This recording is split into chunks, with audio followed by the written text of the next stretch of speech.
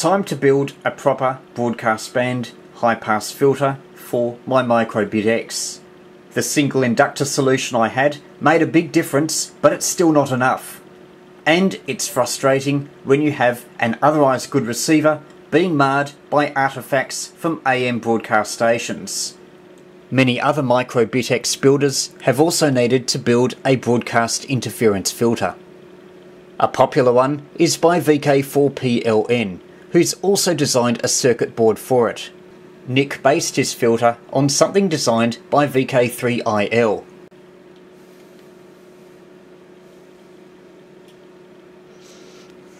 VK3IL's filter had a cutoff just below 3.5 MHz. That's best for optimum performance. But if you've got a filter with as many sections as this, even if you had it for a frequency like 2.5 MHz, that should give a fair amount of attenuation to the broadcast band down below 1.7.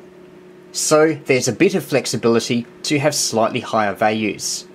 Multiplying the values by about 1.5 gives you a cutoff down around 2.5 to 2.8 MHz. That gives you reception of the 90 metre shortwave broadcasting band around 3.3 to 3.4 MHz, and possibly more significantly, WWV down on 2.5 MHz. Though you'd expect that down at 1.8 MHz, 160 metre reception would be very much attenuated, though you might still hear some of the stronger signals.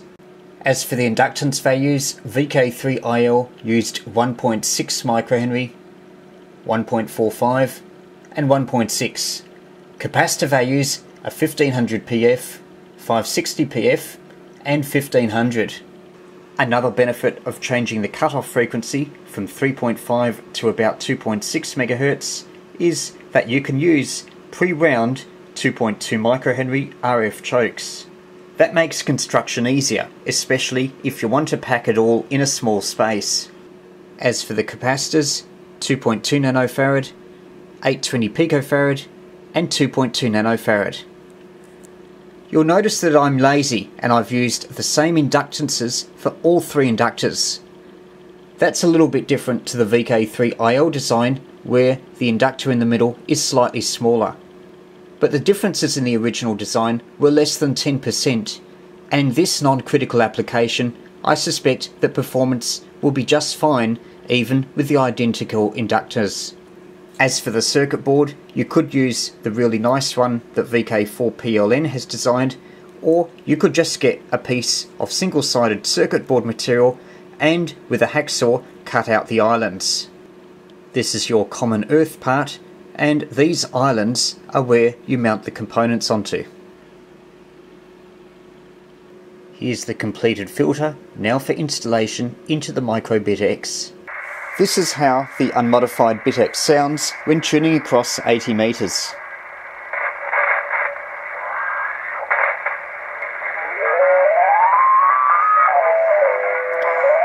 As you can hear there's very loud interference around 3530.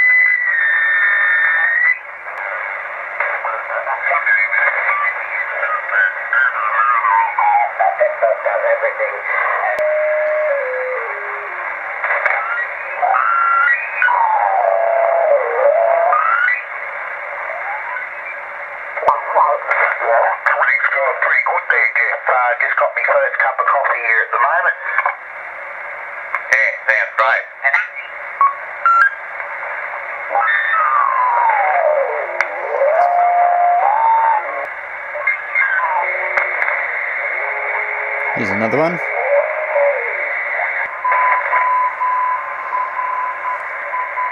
So as you can hear, it's pretty bad and definitely needs the filter. Most people put their filters in this part of the BitX, just near Y1, the 45 MHz crystal filter. As you can see, despite not using surface mount components, my board is small enough to fit in comfortably, and in fact it blends in quite well. The filter will be inserted just here. There need to be connections to either side of the filter via these capacitors and also to ground. Fortunately there's two convenient ground points. You just need a short jumper from the board to the left side of what is marked C210 and another one from here to what is marked the right side of 216. But before we do any of that, we need to cut this trace. Probably the most fiddly part of fitting the filter is to break the connection in the receive antenna line. To do that, you need to use a hobby knife and very carefully and persistently scrape this section off track away. You also need to scrape further along the track to the left and again to the right to provide a connection point for the filter. You know you've succeeded when there's an open circuit as tested on a multimeter between here and here. The filter board is in and if you don't mind me saying, it looks a very neat job. That probably means it's not going to work. Let's give it a shot anyway.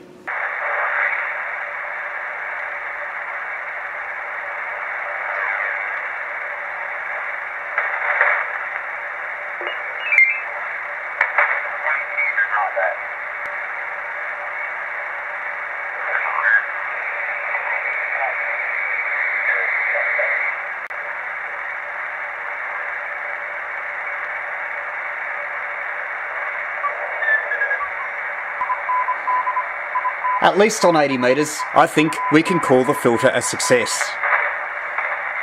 Let's tune down and see if we can detect where it cuts off. I haven't adjusted the antenna coupler, that might also affect the received noise level. It's still picking up quite a lot at 3 megahertz.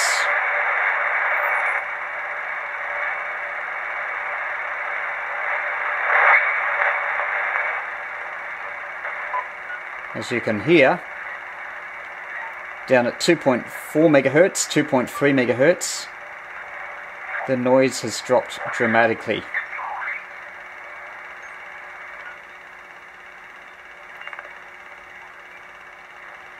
Down at 160 meters, it's very quiet, though you can blame half of that on the antenna. And down on the broadcast band,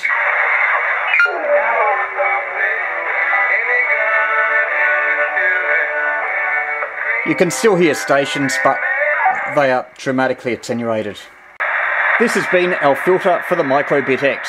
Simple to build, no coil winding, and just seven components. Build one and you'll be amazed at the difference you'll get in receiving quality, particularly on 80 metres. You've built your uBitx, now how do you get the most out of it? You need minimum QRP an ebook available for under $5 US, or as a paperback in some countries. Minimum QRP discusses the equipment, antennas, operating, and strategy you need to succeed with low power amateur communication. Thousands have been sold. Just search the title on Amazon or visit my website vk3ye.com.